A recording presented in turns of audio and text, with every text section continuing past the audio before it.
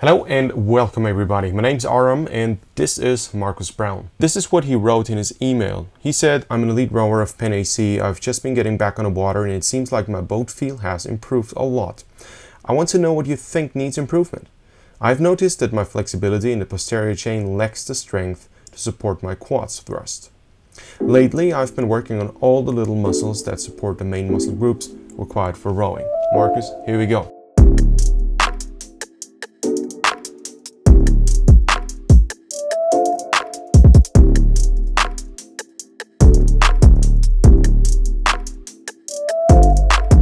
What is your opinion as my community?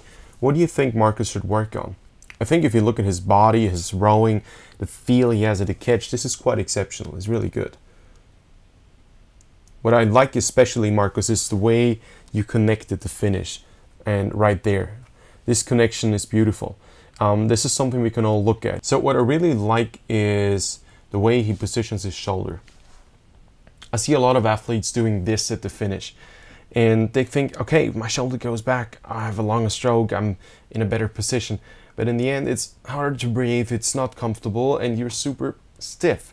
It doesn't make you very effective. So what I'm looking for is a super well connected finish position with the shoulders actually being slightly, slightly hunched over. I don't say you should do this, no. The rib cage is still open. You should have a proud, proud open rib cage here the finish. Nevertheless, the shoulders should be here. They shouldn't be there. And that makes a huge difference in terms of unnecessary shoulder motion. And Marqus, this is very good. The next thing I'd like is the way you connect the chest bone with the feet. There is a visible full straight connection and I like that. So at a point of time where the blades exit the water, there is still a very good posture you can hold. Let's move on. You don't lose that posture. As you go forward, what I like now is at this point of the stroke, have a look at the shoulders. The shoulders are loose and relaxed. That's important. There is a bit of a pre-stretch in the lat. Everything around the armpit is stretched forward.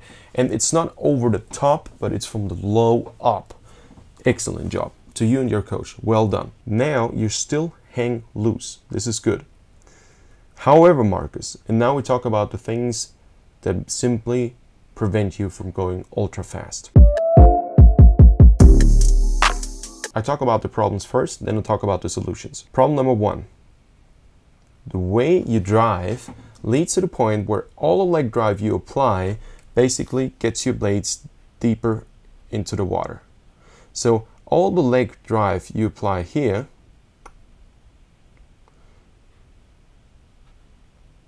leads to the point where your hands go up because your shoulder is in a rotational motion. So the shoulder rotates, the hands go up, and this pushes the blades deeper into the water. It does create the sensation of, wow, I'm super well connected. But be careful, if you feel this, it doesn't mean that you have a, a nice horizontal connection, what I'm looking for. It only means you're killing fish. You're getting deeper, deeper, deeper, deeper, deeper.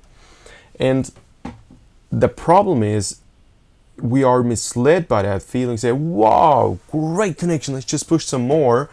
And look what happens with the body. I know Marqus you're looking out now. It doesn't matter. Pattern is pattern. Muscle memory is muscle memory. So you are you do get the oars to bend now. This is good. However where's the pivot? Now we need a full pivot which goes from slightly forward to backward. However, you start straight and go a bit backward, which means you're doing a downward motion with the shoulders.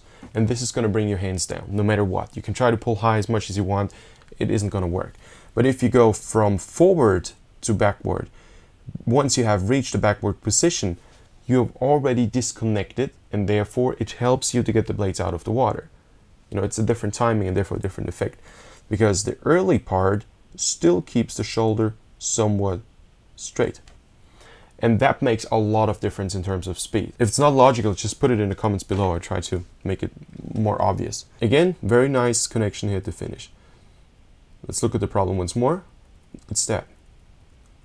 This is it.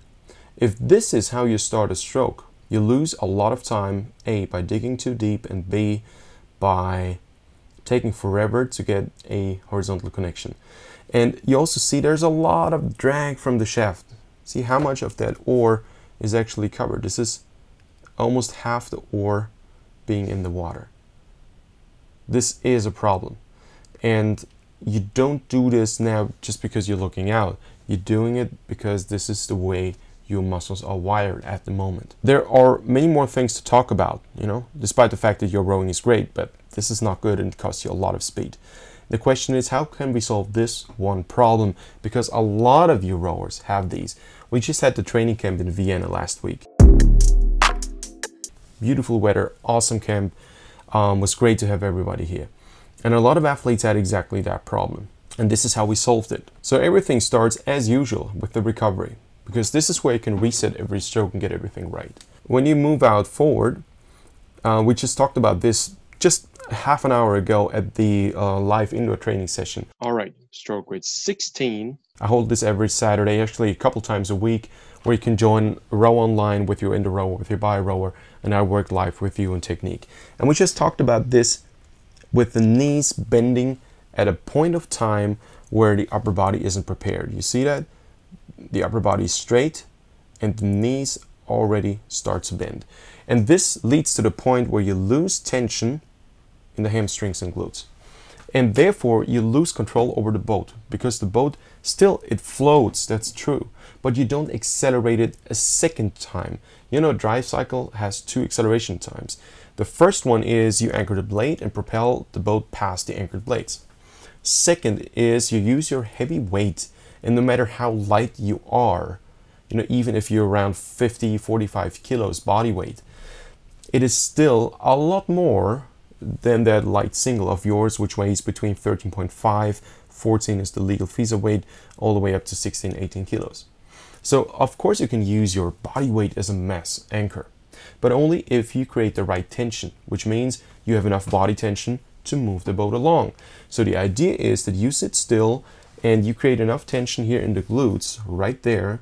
And as you move forward you you pull the boat gently towards the bow not a new phenomenon. Valery Kleshnev actually made a research that he basically said if you do it right the boat is the fastest just before the catch in a race pace you know?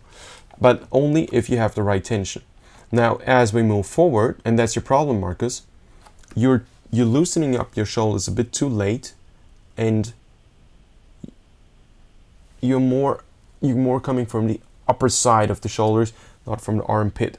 And the way you should approach the recovery would be with that good finish position, you should move out the hands and then gradually, like a cat, relax the shoulders and get a bit, don't pull with the hands forward because this is what you do. You become too stiff then. Roll the shoulders forward and pull with the forearm on the triceps, on the triceps and lat, you know. Let me zoom out. So this is how you do it. You roll forward and go this way forward instead of being too stiff here because if you're too stiff here you become round but if you go from the lower end you can actually open the rib cage open wide spread the wings open the arms to the side this is how you should approach the catch and if you do this all the body weight is on the seat Ladies and gents, I hope this makes sense. Um, if, if not, just please drop it in the comments. Say, Aram, could you put it in a different way? I certainly will. Okay, so problem number one, knees bent too early. Problem number two, too stiff in the shoulders, push down. At the same time, uh, I think you've all seen that the blade is not in the right position. You need space. With the blade, you need space. There's no other way. At this point of time, in my humble opinion, you shouldn't have straight arms you should have slightly bent arms. Pull with the forearm, but have heavy elbows, because this allows you to have a bit of a stretch on the triceps, armpit, lat. Follow the recovery a bit more. What you do well then is you move, as I call it, lethargically heavy. And this is the best thing you can do in a boat because the water is a slow element. Don't try to move dynamically in a boat. Nothing that happens with water is quick and dynamic except for a creek, but you're not a creek. You want to move in a slow, lethargic element with a lot of inertia. So move the same way, adapt your body motion to that element. You're you're you know you're moving it. You know you're not you're not in the air. You're in the water. Everything happens slowly but steadily, and having that heavy shoulder girdle now is a good thing. However, if you do it now, Marqus, follow the way the shoulder girdle is traveling. It's actually there's a bit of weight onto the hands. If we move forward, you see this? Whoa. And this is how you get the blades off the water. At this point of time, however, from three-quarter stroke to, to full slide, you need enough space between your shaft and the water to square anytime you want. And that wasn't possible before. If you go back a couple of seconds, you see the, water, the blade was actually almost touching the water. So you see, it's not, when coaches yell you say, blade height, it's not for the beauty. It's to allow you to open up the arms because now Marqus can't open up the arms. Marqus, you can't. All you can do is just push down and that's the wrong tension in the arms. So wrong tension in the arms leads to the point where you're still pushing down at a point of time where you should get some pre-stretching here, triceps lat, shoulder girdle. You want to get the same stretch you will have then at the catch. But at the catch, switching so quickly from pushing to pulling, it is not possible. You know, and we're talking about low rate here. We're not talking about a stroke rate 40. So at this point of time, you want to start the drive. And this is something I repeat in a lot of videos. At this point of time, you want to start the drive, but where's the blade? Now it is almost where it should have been all the way through the drive, uh, all the way through the recovery, and it isn't. At this point of time, the blade should be halfway in the water, so it should be about here. But it isn't. And the reason why it isn't is because now your muscles are busy a stabilizing your body because all the tension and weight is very high up and b the seat starts to move out already because you want to start a drive and then there's here the wrong tension. So there's energy traveling excuse my ugly looking arrows there's energy driving forward but you don't have a stretch. It's not like your hands stretch these muscles you will need then for the drive. No it isn't happening. And then of course we see the result. You start the drive and you got to prepare somehow you got to get that weight off the hands somehow and it happens with the upper body pivot. And then the cycle continues with the leg drive when you do an upper body pivot. So basically the upper body is moving upward. The blade goes deeper into the water with every bit of leg drive you apply Good. And this is whoop, deeper and deeper. See the effect? The, the simplest way to solve this is be clean recovery, have light hands, try to be, have enough space between your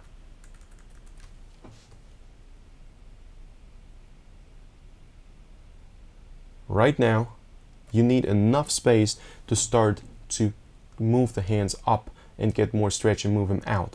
At this point of the time, the shoulders are too tight. The blade is too close to the water. How high should it be off the water? I'm looking mostly at the shaft, so this part right there. The shaft should always be so high off the water that you can square your blade anytime and still have half of the blade space between the lower edge of the blade and the water.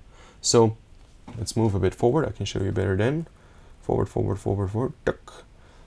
So during the middle of the recovery, not at the catch, but now I can show you.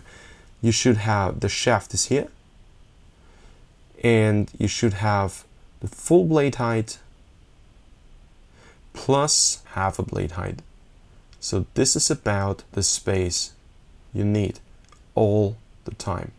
Because this is the only way you can square and open the arms. And this gets you the right tension here, and then you're super quickly prepared at the catch. I see a lot of coaches yell at athletes, say, hey, quicker at the catch, harder leg drive, harder leg drive. Well, you know what harder leg drive leads to? More dead fish. Working that blade into the water. And now some of you may say, well, Mahe Drysdale rows this way. Mahe Drysdale is a super fit, phenomenal, exceptional athlete. I do not think that his technique in the single, specifically referring to that Henley race, is super efficient. But in the single scull, a lot of things work. But ultimately, my personal opinion is that it is not super efficient. The less time you need to connect horizontally with the blade, this is why there are Randall foils, you just put them on top, you feel where to stop, um, the, the faster you're going to be. Because just because you get the stroke rate up, it does not mean that this connection here, reducing downforce and getting some stretch, it's a matter of, you know, signals in the muscles. And these signals won't travel any quicker and the muscles won't react any quicker just because you get up the stroke rate.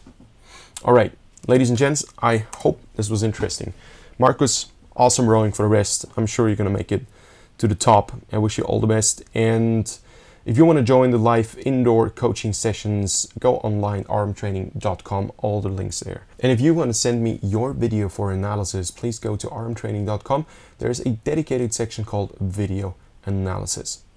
If you want to work with me remotely doing your training planning and your video analysis on a frequent basis just for you, go to aramtraining.com as well or send me a message. Instagram, YouTube, Facebook, Pinterest,